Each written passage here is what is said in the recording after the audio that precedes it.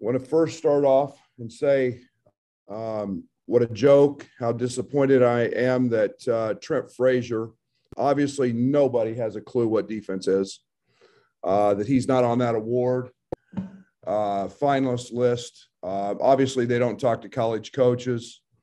Uh, more than likely, our style of play probably doesn't allow him to get enough steals but they look at all the wrong numbers. They don't look at the opponents that he guards numbers when he plays them because usually it's a night off for that per, for that person.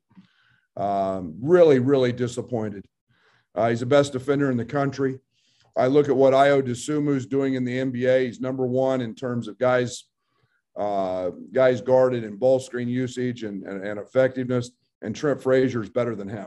And uh, obviously, our style of play hurts him but uh, I want it out there publicly. It's not a Defensive Player of the Year award, in my opinion, if he's not on it. Uh, I'm I'm ticked off. I'm frustrated. Uh, I'd like to know who the committee is that that puts that nonsense together. Uh, but it's, uh, uh, it's it's it's obviously not intelligent people who who are uninformed about styles of play and how how defense truly impacts winning. So on to Northwestern very, very good basketball team, a team that's got a lot of returners. Uh, they've got, they've got, in my opinion, uh, one of the most uh, under underrated players in the league, and Ryan Young, uh, a guy that minutes per play is is having a fantastic year.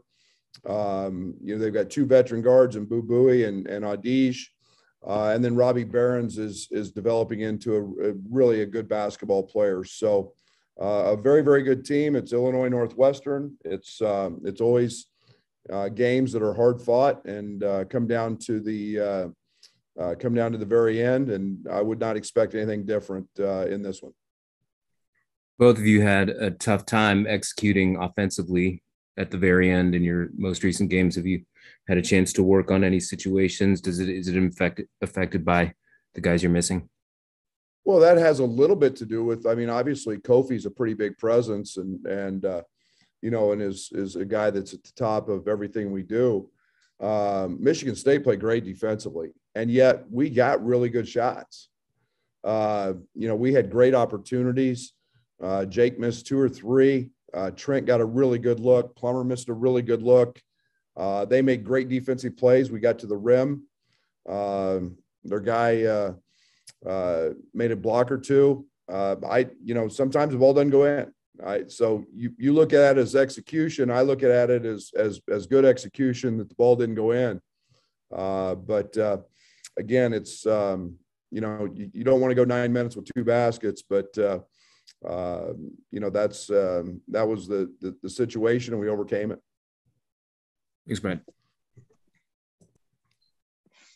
You know, Tom Izzo has said, you know, Chris, Chris Collins' team has a lot of good pieces and that you know, you see a lot of talent, a lot of guys who had, you know, pretty good recruiting rankings, but you know, they've had trouble finishing games. Um, the results in conference play hasn't been there. I mean, what could be like that missing ingredient? What could be that secret sauce that when you have talent but not like putting it together? Do you think?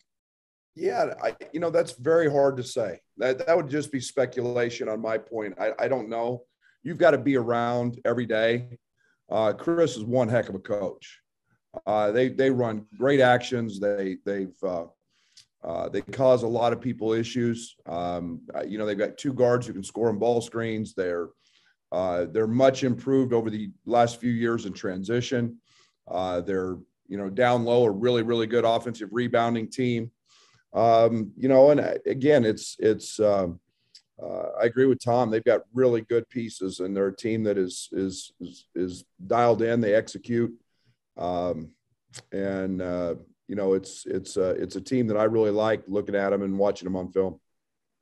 Thanks, Brad. Hey, Coach, do, do you have an update today on Kofi and um, Curbelo? Uh, Curbelo has not been with us yet due to his protocols. Uh, Kofi is going through his protocols, so nothing uh, nothing new on that front. And uh, uh, you talked about Boo Buie. Can, could you go a little bit more in depth on him? What are some challenges uh, in slowing him down?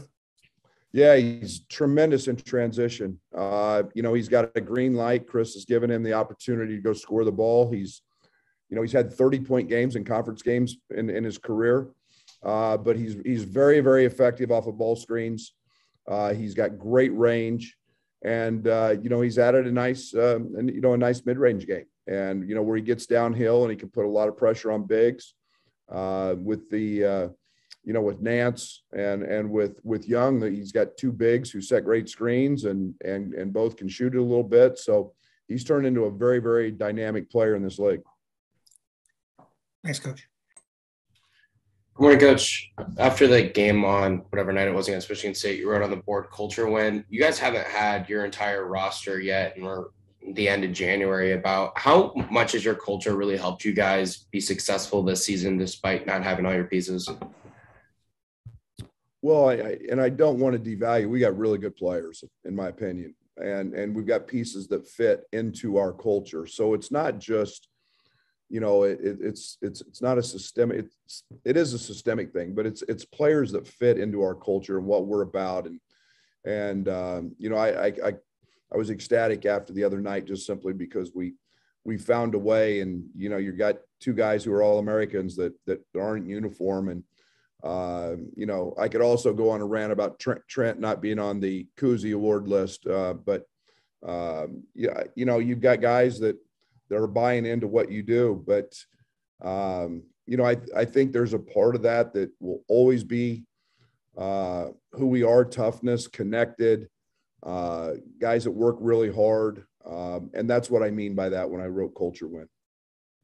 So to follow up, you said the toughness aspect of it has helped you guys a lot, but you've also kind of maybe challenged that at times with your team this season. How do you balance the aspect of they're not tough enough, but they're also tough enough to get these wins without some of these pieces.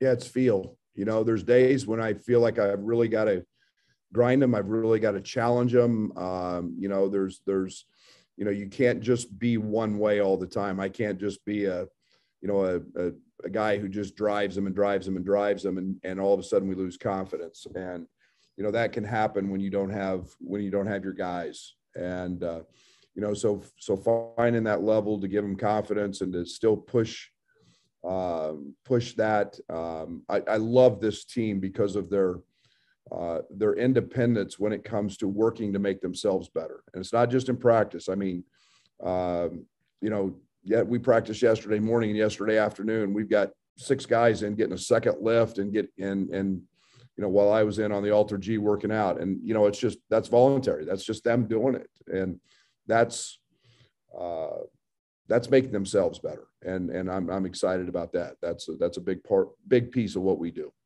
And if I could get one last quick one, you mentioned all these guys coming in for individual time on their own. Is that different than when you first got here at Illinois? we didn't get guys to practice when we first got here. Um, yeah, it's a night night and day. And again, it's it's it's the trying to get everybody to understand how hard winning is and and how hard it is to be and get where they want to go which is the top of the big 10 as a team and then individually you know most of them want to go to the next level and, and that's hard work. And and so you know that's why we have the saying character over characters and and it, it's it's a big piece of uh, our recruiting and a big piece of, of, of our culture.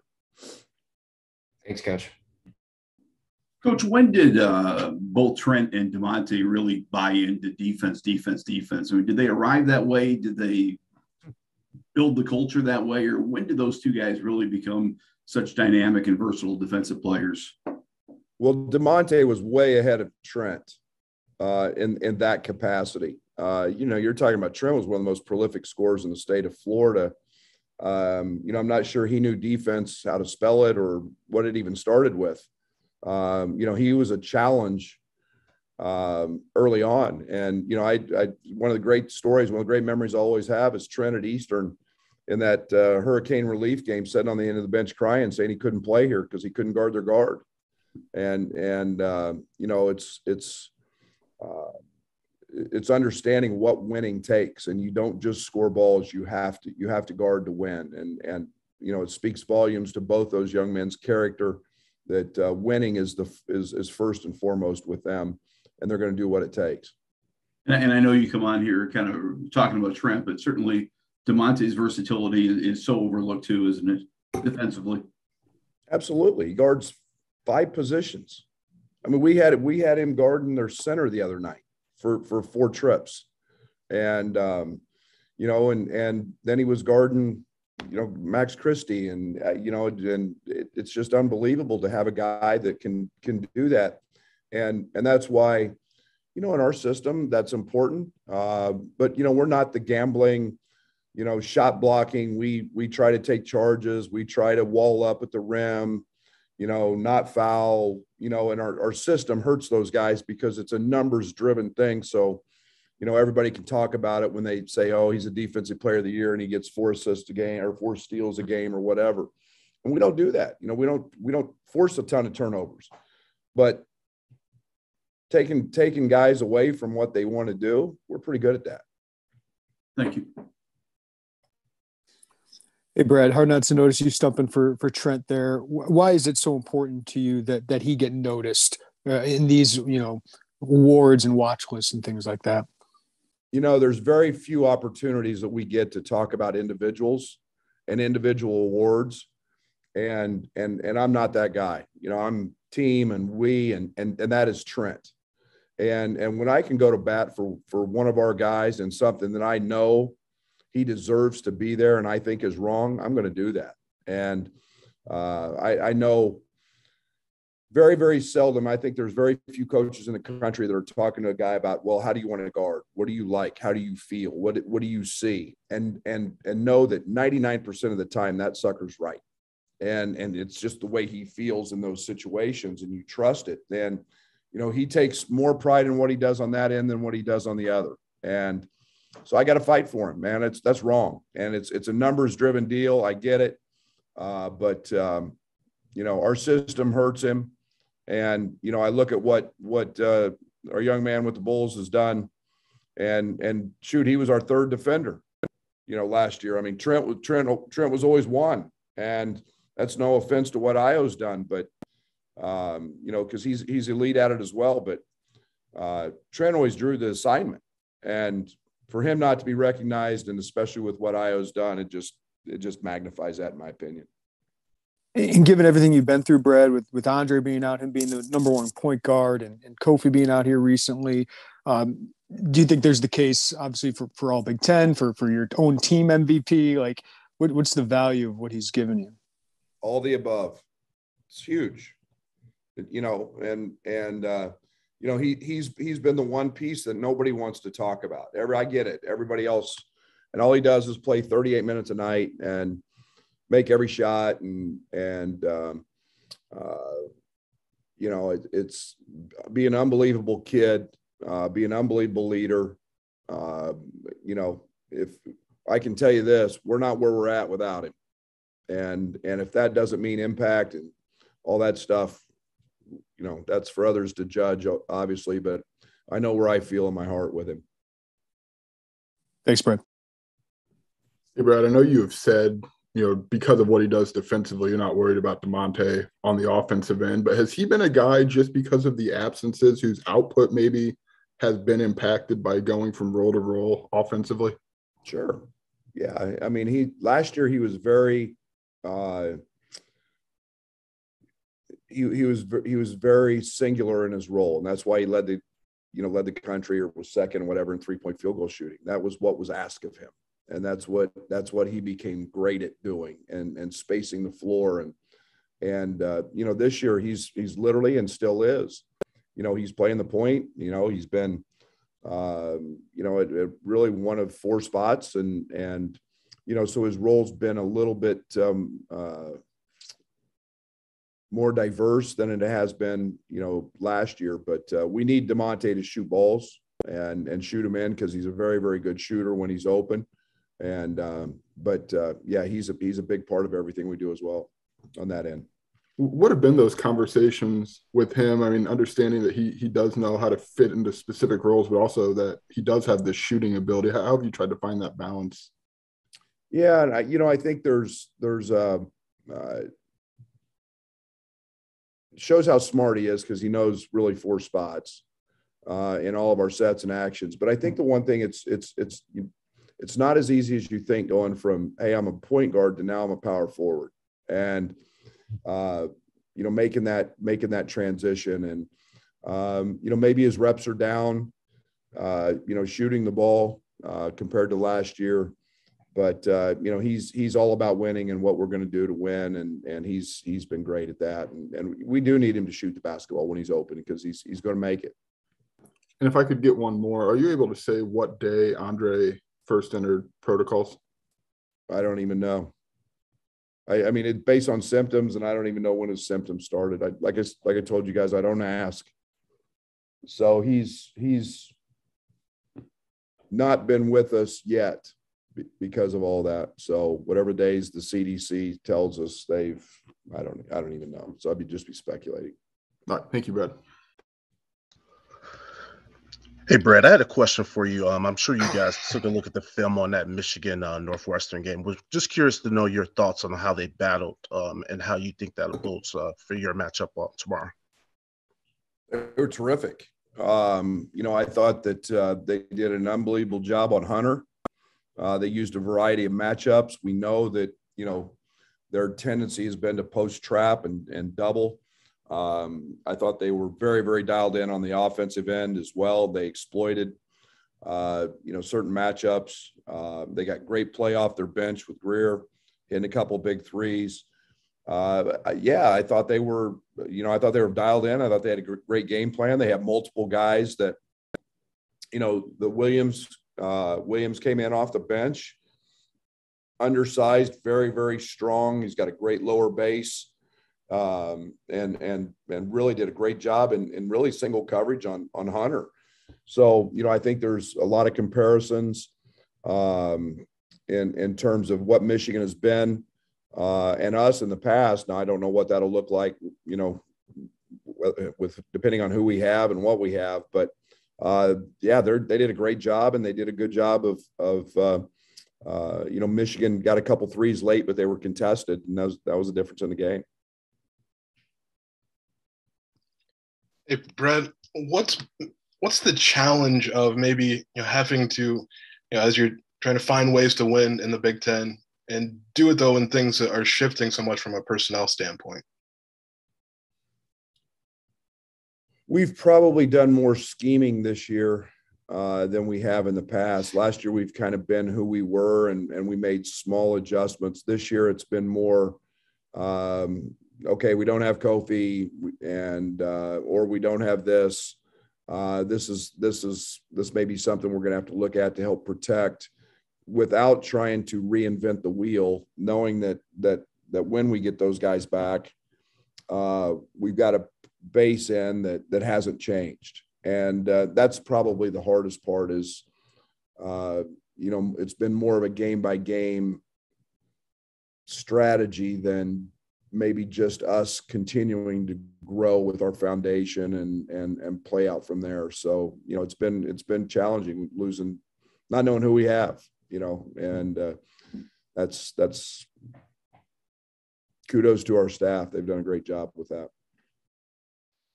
So how have the players maybe adjusted to that, and also maybe adjusted to, you know, different lineups and different rotations, and maybe not having a consistency at least you know, this year great so far. Great. You know, I mean, you get a Luke Goode stepping up. You, you know, RJ stepped up, Podziemski, all those guys keep working and, and doing their job. Obviously, the job Ben has done has been, uh, you know, phenomenal. He didn't play hardly at all in four games, and now he's a, you know, he's a starter. And, uh, you know, Omar's been impacted. His minutes have gone up. So I think everybody's continued. And, and that's what I talk about with our culture. Everybody's continued to work on their game, get, stay ready take that opportunity when it's there, and um, uh, and it's it's helped us and it's it's helped them grow as well. Thanks, Brad. Non-basketball question. There's a visitation this afternoon for Associate Vice Chancellor Clarence Shelley, who was for 40 years the the guy who recruited black students and developed black students at the University of Illinois. I just wonder if you ever had a chance to meet him. I did not. I did not. Thanks. Coach, uh, end of game situation seems like it could be big in this game. It had, you know, it's been an issue for Northwestern, and uh, it was almost an issue for you against Michigan State. Is, from a coaching standpoint, is that something that you can impact and that you practice? Sure, we practice situations all the time, and uh, you know, there's there's certain situations. You know, we had three situations. We went over it on film. Uh, you know, Trent's not going to very often miss a free throw, front end of a one and one. Uh, you know, we had the situation that he missed. Um, you know, we talked about the what was almost an and one and the foul. Uh, we talk, talked about the free throw blockouts. We talked about you know what our scenario is, and we work on it a, a good amount.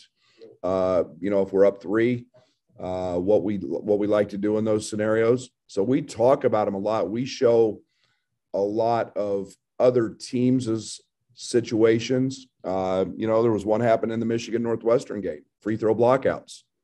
Uh, you know, Michigan uh, didn't block out on missed free throws. Northwestern got two opportunities off missed free throws, and and so we talk about those things a lot and uh, uh, knowing that every game, you know, most every game is a two possession game. That's the difference between winning and losing. And and uh, we don't just um, we don't just talk about them. We have segments in practice, one minute games, down four. Um, a lot of situations. We got one in today. Um, you know, that's a, that's a two minute game. So uh, it's it's it's great to practice those, know where you want, know what you want on a side out of bounds, need a three, so on and so forth. There's a million of them. You can't get to all of them, but uh, yeah, you you try to get as many as you can and and uh, and the most relevant ones. How do you how do you balance wanting to run some time off the clock with still being aggressive and getting a good shot? Personnel. It's more personnel based than anything. I know we you know we were pretty patient at the end of the game I think we had 12 possessions in the last nine minutes. Uh, so were they. Um, and, um, you know, I think the one thing that we tried to do was, you know, make sure the ball was in Trent's hands, know where we were trying to go, uh, you know, with it. Um, and again, Trent very easily could add 10, 12 assists the other night. We missed some really good shots. Plummer got downhill twice. Uh, you know, one of them was a great block. Uh, the other one, he missed a wide open kick out. We we talk about those things, but um, you know, every situation is different, and um, you know, you're going to keep the ball in the right guy's hands, stay aggressive, um, and uh, and know that the game's going to be you know shortened a little bit to try to negate any run that they could go on. Brad, you mentioned uh, Kofi's still in protocol. Has he worked out with you or done anything with you guys yet? that's all part of our protocol. Our protocol is about 10 steps. So the the protocol is goes from waking up and getting out of bed and how do you feel to to to finally getting back to full full participation. So there's a, there's so many processes in there and steps in there that that our trainers and doctors have to go through. It's meetings with doctors. Uh, it's it's testing. Uh, so I don't even know where he's at in it. So it's based on all of his symptoms, and and so he he'll uh, uh, he'll take that uh, that next step um, this afternoon. So he hasn't he hasn't he hasn't uh, practiced to this point with us. Thanks. Brad, if I could get one more. Um, after Tuesday's performance, especially defensively, is there a case to get Luke more minutes here as the season progresses? Sure. Sure, I and anything that helps us win. Um, you know, I, I, think that that there's a different uh, feel for every game.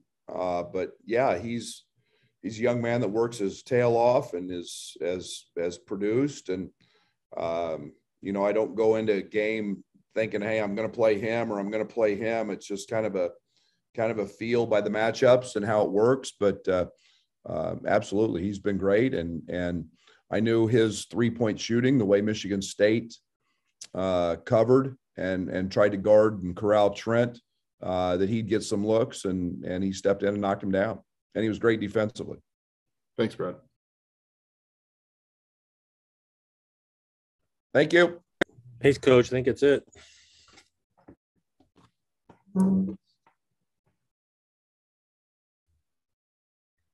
Derek, I'll hang on till uh, you join us again.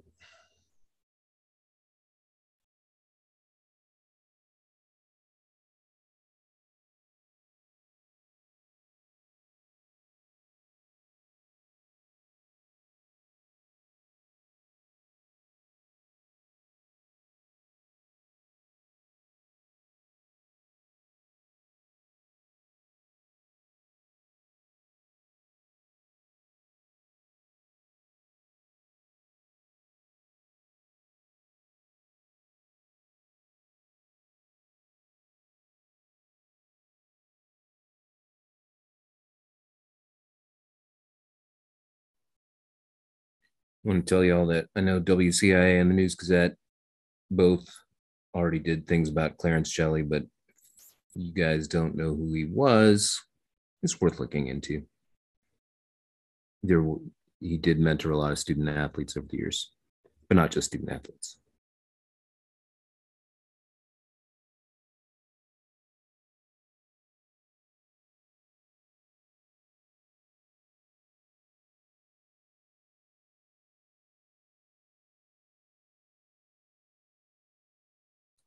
Was he retired and, and when did he pass?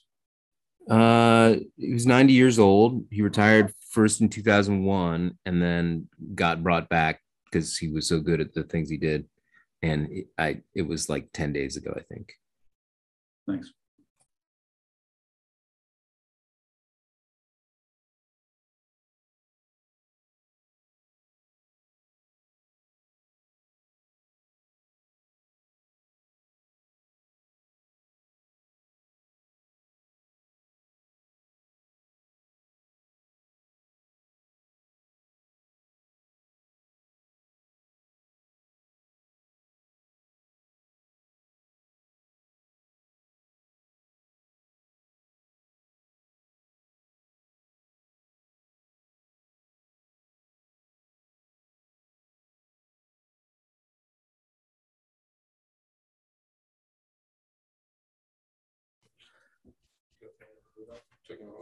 I'm sorry, what? Coach went long. Okay. Go ahead, sit. All right, you guys can, we good? I, lo- I did get kicked off, I think I'm back on now. We all right? All good, Derek. All right, let, let Jim Matson get us going here. So Monte wants to hear from him. My boy Jim. Hey Monty, what's up, buddy? Hey, we we're talking a lot about your uh, your defense a little bit. Where, where did your defensive mindset start? Did it start at Peoria Manual? Did it start just growing up in Peoria, or when when did you really uh, embrace uh, defense? Um, in high school, playing for uh, Coach Booth. Um, coming in as a freshman, I knew that was the only way I'd see the floor as on varsity. So I, mean, I just locked in on that ever since then. You guard bigs, you guard smalls. Do you have a preference? Do you do you go into a game? Are there guys you really enjoy guarding? Uh, no, I don't really really care who I guard. Um, coach giving me an assignment every game, and I just try to take care of that assignment. You're not shooting as much this year. Is that just the opportunities aren't there, or how how, how would you explain your maybe your lack of shooting? Uh, I'm not really worried about that. Um, I mean, shots will fall. Um, mean, we got guys that Plummer, Jay, Trent. I mean, those guys are are hot. So why not keep feeding the hot hand? Thanks, Monty. Hey, Da'Monte, uh, after the game against Michigan State, Coach Underwood wrote on the board culture win and underlined it and stuff. As someone who's been a part of this entire trip with him, what did it mean for him to write that on the board as someone who's been a part of the building of the culture? I mean that that that was a big time win for us. Um, it wasn't it wasn't pretty. It was it was tough um, mentally and physically. Um, it's just what we go through every day. And then to follow up, Coach Underwood said that after practice, I think yesterday there were six or seven guys who came back to Ubben or back to State Farm to get extra shots up, and that was a much contrast to the beginning where you guys struggled to just get everyone to practice. I think were his words. Can you just describe, I guess, how much different things are from when you were a freshman to now in terms of getting extra work in, the accountability, the desire to win, and all of the different things that you guys have now? Uh, I mean, just everybody just had that will to just get better, um, no matter what it is. Um, just coming in, watching film, or getting up extra shots.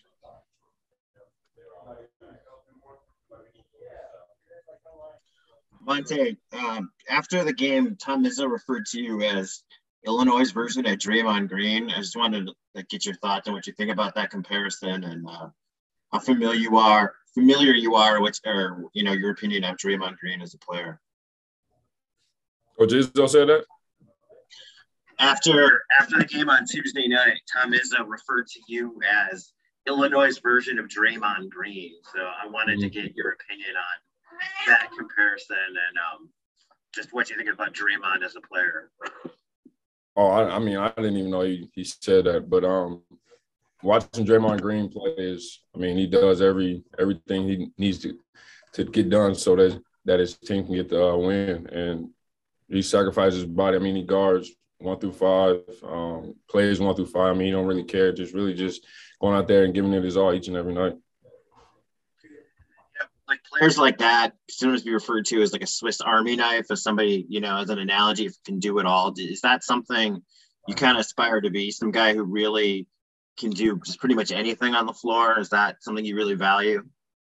Uh, yeah, I, I, mean, I just try to do whatever it takes for us. I mean, for for me to put our team in a good position to win, um, whether if it's guarding 6'10, 6'11 and pushing them out or whatever, get them uncomfortable off the block or whatever, chasing somebody off ball screens. I mean, really just trying to trying to win. Thank you. Hey, Da'Monte, what does it take for you to be able to switch like that to go from somebody 6'10 and taller than you to chasing around a point guard? Like, how do you do that in the moment so effectively? Um, it just, I mean, really just going out there and really just doing it. Um, I mean, it takes takes a lot of energy, uh, effort, and um, just really the will to do it. And then offensively, I mean, you seem to play quite a few positions as well. What are the, especially as guys have kind of been in and out of the lineup, what are the challenges of of playing all of those different positions on offense and maybe finding your role there with the group around you? Um, um, I look at it as next man up, um, and just going out there and just competing at a high level so we can win. Coach was not very happy about Trent being left off of the defensive player watch list or finalist list. Do, do you have any thoughts on maybe Trent's defense being overlooked? I mean, that dude there is going. He's he'll guard one through five just like I will. Um, but I mean, it's that dude is cat quick. Um, yeah, I'm I'm super shocked that he didn't even get uh, announced on that list. Um, he should have, in my opinion, he should have got been on that list. I think he's one of the best defenders in the in the country. Uh, one more, if I could. Do you, do you guys talk about that? Like when that came out, I'm assuming it was maybe pointed in Trent's direction pretty quickly. I mean, do you guys, just as close as you two are, have any conversations about stuff like that? Uh, we talk about it here and there, but I mean, we have a common goal, and that's just to win and do whatever it takes. So we don't really get into it. Thanks, Monte. Da'Monte, tomorrow's game is going to be like the midway point of the Big Ten schedule and you guys are tied for first place right now. Just how do you feel like you as a team have managed that even as you know guys have missed you know games and lineups have been different and maybe all the challenges thrown your way? Um, really just being ready for whenever your number is uh, called, um, no matter who it is. Um, just staying ready and and being locked in. I mean, I know that was a you know Big Ten titles uh, goal for the team this year. Does that just the idea that you, you can still get that does that keep guys maybe going when things have been tough? I mean, when when when stuff gets tough, um, that's when you come together as a as a group and um just keep playing harder and harder for each other. And I mean, we all know what's what's on the line, but we just go out there and compete as hard as we can for each other, just to see each other smile and have a good time. Thank you. Hey, Da'Monte, um, in your words, how does it feel when you have so many of your teammates that just view you as that ultimate, not just glue guy, but just one of the more important pieces on the team? How does it feel? Yeah, for you, yes. I mean, it, it feels good knowing that um, I'm a key piece into what we're doing, but it's also um, them holding me accountable to what I can bring to the table each and every day. Da'Monte, one more if I could. I mean, where have you kind of crafted? You've been more or less a backup point guard when Andre has been out behind Trent. Where, where have you kind of crafted that ability to slide over into that role? Um, like I said earlier, I just look at it as, I mean, next man up. Um, just really trying to get the assignment done. That way we can uh, get the W. Has this, I mean, you said that a lot, the assignment, next man up. Has this always been you, or is this just what it looks like in understanding what five in five years of college basketball, kind of what it takes? Like, would you have maybe answered in the same way as a freshman, or is that does this come with maturity? Um, yeah, no, I, I would have answered that um, when I went down with my ACL in high school. Um, I mean, I went down and and I told my teammates in high school, I mean, it's really next man up. It's really y'all time to shine now. So just be collective and go out there and play as hard as y'all can for each other. Thanks, Monte. Da'Monte, what have you seen on, without giving away the scouting report, obviously, what have you seen on film um, about Northwestern and some challenges that they'll present uh, on Saturday? Um, it'll be a, a good, hard fought game. Um, I mean, they're playing good. I mean, you can't really look at anyone's record in the, in the Big Ten. Every team is good. Um, and we just got to be ready to compete at a high level. Uh, they got a guard this scores quite a bit in Boo Buie. What um, what are some challenges in checking him if if that is your assignment? Um, really just doing what we do, um, and being collective as a group, and um, pulling, trying to go up there and play as hard as we can so we can pull out the W. Thank you. Hey, uh, Monty, just following up kind of what Joey said there. Uh, I mean, when you're especially a high school junior before the injury, I mean, didn't you think you'd go to U of I and score a bunch of points? Didn't you think you'd be a, a, a offensive guy? I mean, how how different is this role than maybe what you projected maybe before the ACL injury? Um, yeah, I mean, those were definitely my thoughts, but um, coming in college, I knew it was going to be a lot different. Just the way high school to college basketball is. Um, coming to the Big Ten is more physical.